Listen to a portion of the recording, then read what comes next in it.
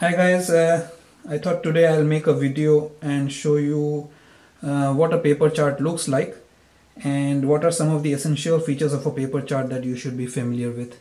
Now I know that uh, many of you are sailing on ships these days which do not carry paper charts or, and uh, you are mostly using ECDIS or electronic chart display information systems or electronic chart plotters but still many ships are required to carry paper charts and even use it uh, in case you do not have a backup ECDIS system if I'm not wrong.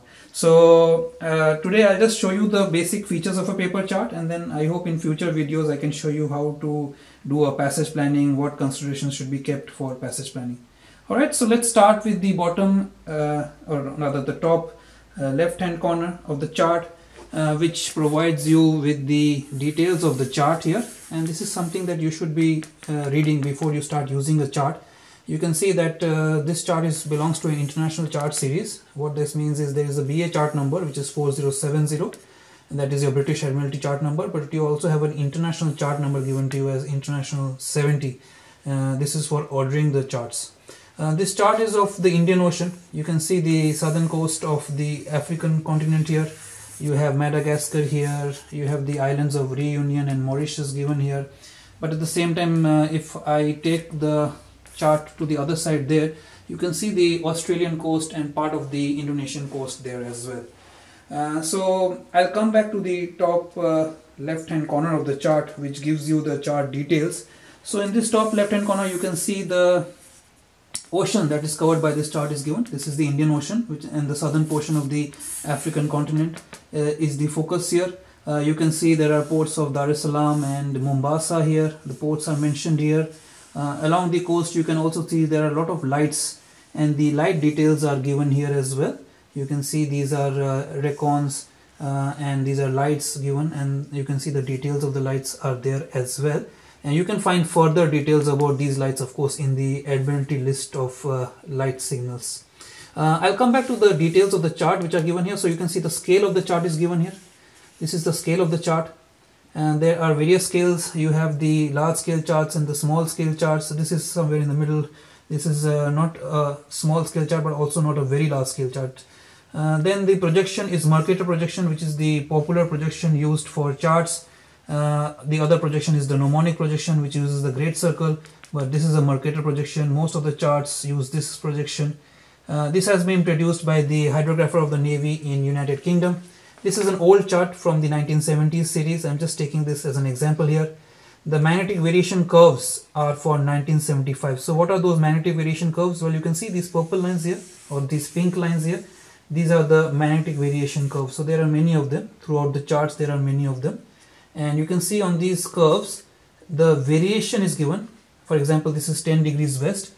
And the annual rate of change of variation is given as as well. So this is one minute west so you can see that uh, one minute west is the annual change of variation. So when it's west you add uh, the change given for every year. So this is for 1978 of course. So if it was 1985 today you would be adding one uh, times 7 so 7 years and then you would be adding that to the variation here. But this is 1978 today is 2019 uh, this is about 41 odd years. So you will be adding 41 minutes to this but these are now of course old old charts and old values so these don't hold today but i'm just giving an example here.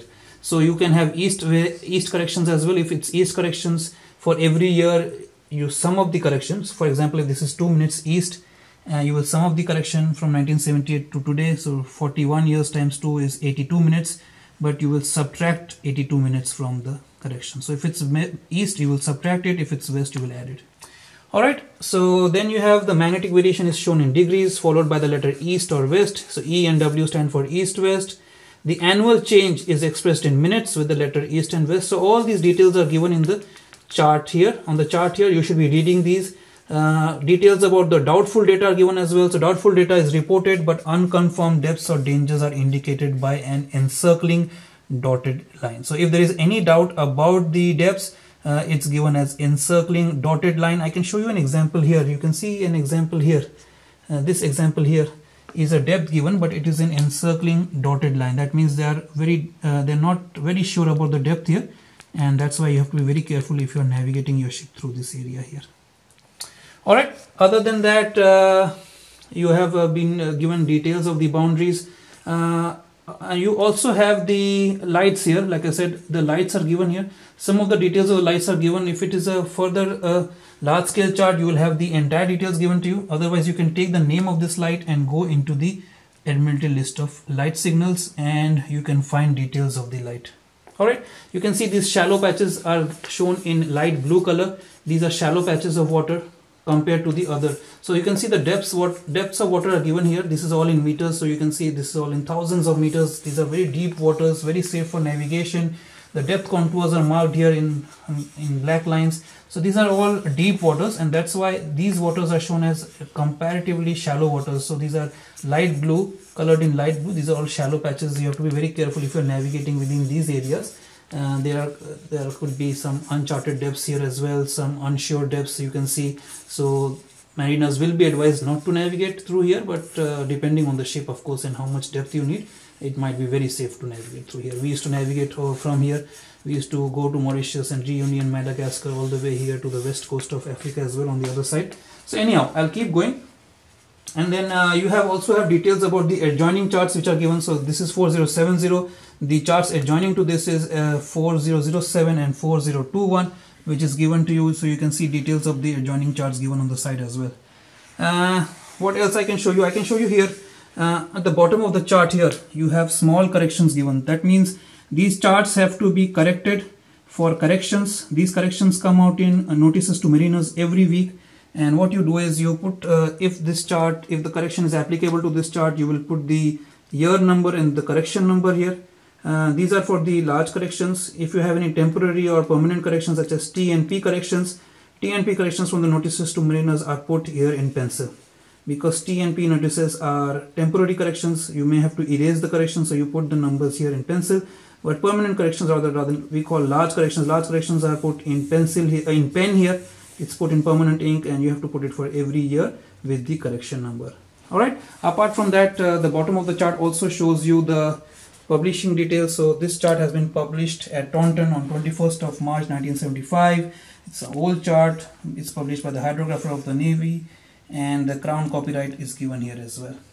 All right uh, there is this edition is from 1978 so the edition numbers all that is given. So make sure if you're ordering paper chart they should be of the latest edition. You can find all these details in the chart catalog as well as in the notices to mariners uh, there is nothing else I have to show you. This is a compass rose of course. There are a couple of compass roses given on the chart.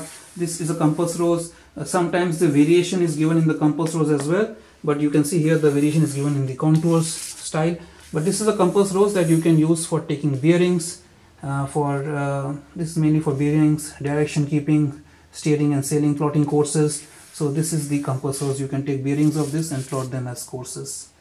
All right there is uh, and then of course you have the latitude scales. Horizontal lines are all latitude scales and the vertical lines are longitude scales. So latitude scales 30 25 20 this is because this is south latitude. So this is increasing as you go further south this is on the southern latitude and the longitudes here are all east longitudes. So this is uh, 40 degrees 45 50 degrees. So these are all adjoining uh, so these are all longitudes. All right. So depending of course on the area you have the adjoining chart details given here as well. So that's pretty much it. I think i have not missed anything.